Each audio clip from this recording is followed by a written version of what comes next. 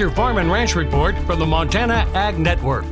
Hi, everybody. It's time for your Farm and Ranch News.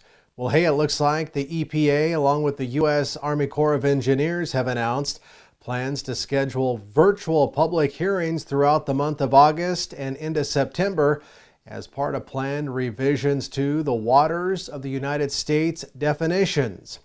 Now, the new round of hearings and rulemaking, they say, will be closely watched by agricultural groups that, of course, were among the biggest supporters of the Trump era Navigable Waters Protection Rule, which replaced the Obama era WOTUS.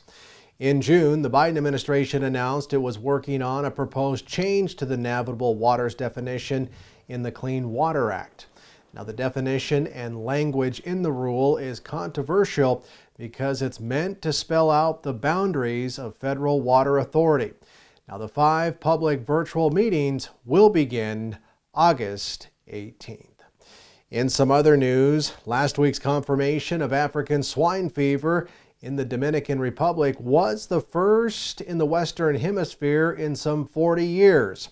U.S. Meat Export Federation President and CEO Dan Halstrom says that while the ASF findings are very concerning, the U.S. industry is well prepared for these situations and extensive safeguards are in place to protect the health of the U.S. swine herd. However, he emphasizes that ASF in the Dominican Republic definitely heightens the need for the U.S. to reach regionalization protocols with key trading partners like Mexico and Canada.